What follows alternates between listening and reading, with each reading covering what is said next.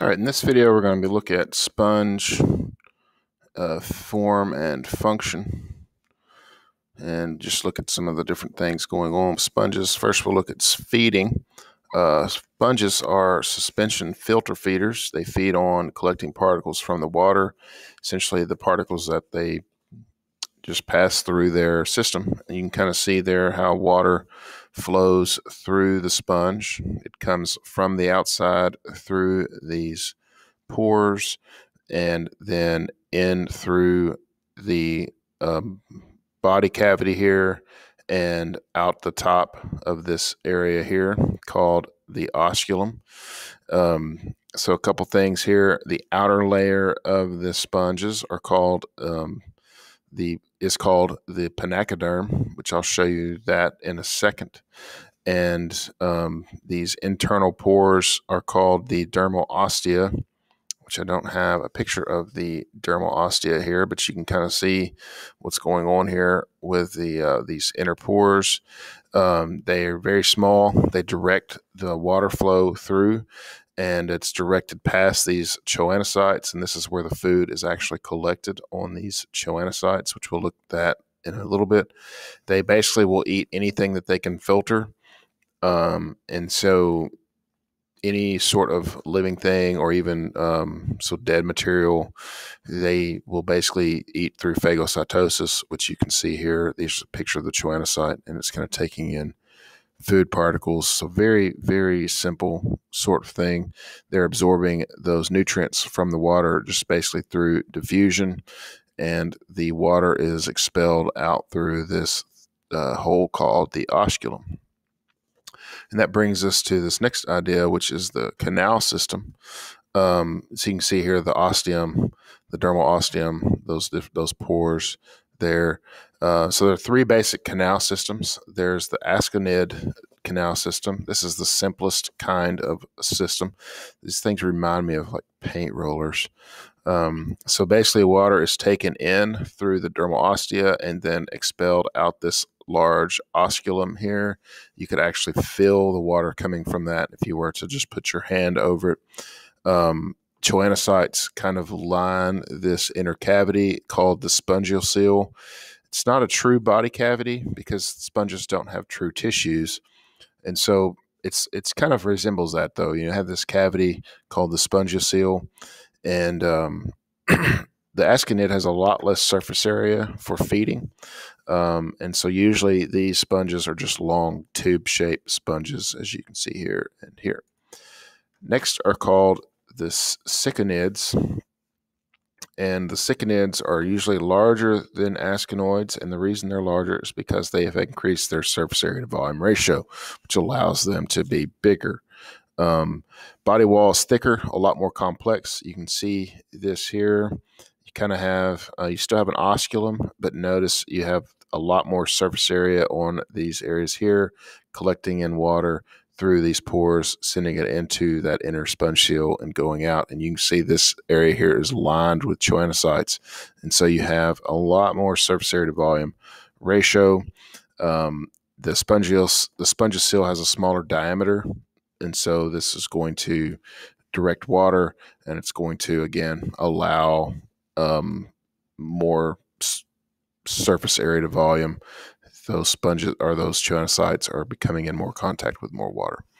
Uh, and the last one is called leuconids. And so this is the most complex. Um, this allows, again, sponges to increase in size because there's greatest, greater surface area for feeding. Uh, lots and lots of tiny chambers. See here, these tiny chambers. Each one of them is lined with choanocytes. See, it's called a flagellated chamber just means that there's a lot of flagella in there back from those um, from those choanocytes. You can see here the osculum is not as pronounced. There's several osculum. You can kind of see it over here. These several different holes. Um, a single leuconid sponge may have like two million feeding chambers, and so um, a lot more efficiency as far as being able to take in nutrients, and so you can expect some of these sponges can grow really big.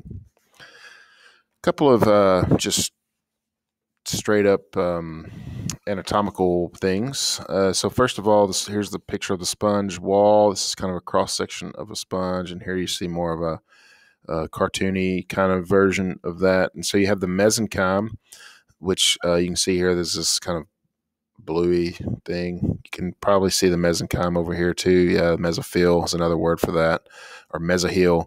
It's this uh, gelatinous matrix, and that's essentially what it is. It's just an extracellular matrix. There's uh, the skeletal parts are found in there. The sponges, the spongin, and the spicules are found in that, and it's kind of where all everything else is embedded in that there you got the choanocytes here is a good picture of those choanocytes so you have the this collar here which is where all the food is kind of being collected and then you have the flagella which are kind of whipping around causing the water flow to come in you also have these cells called archaeocytes in here you can see the little archaeocytes those purpley looking cells. I don't think we have archaeocytes over here.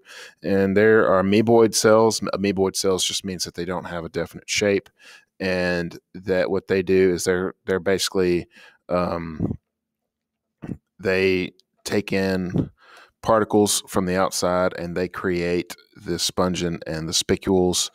Um, they move throughout the mesenchyme and they have several functions. They're almost like um, sponge um, stem cells in a way. And so you can imagine them kind of moving throughout and doing several things. And then you have these pinacocytes, and they're going to make up what's called the pinacoderm. And you see that over here. And it's the outermost layer of the sponge. It's the closest thing that a sponge has to a tissue that is an actual uh, functioning, a bunch of cells working together doing a similar function.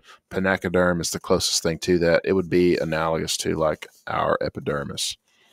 And then lastly, uh, reproduction of sponges. Sponges can reproduce sexually or asexually. Um, most sponges are monoecious, and that monoecious means, remember, that they have both male and female sex cells. Um, they can reproduce um, through uh, sexual reproduction. Um, so you have the sperm cell will actually swim in through the side, just like everything else, right? Comes in through those pores and will fertilize the egg cells. And uh, the zygote will basically house in that parent sponge, and then it will swim off, and the larva will swim off and plant and create new sponge. Um, they can also reproduce asexually through budding or fragmentation, uh, which is another thing that can occur. And so they are able to just a piece can break off and kind of start growing. Or you see here, there's budding that can occur.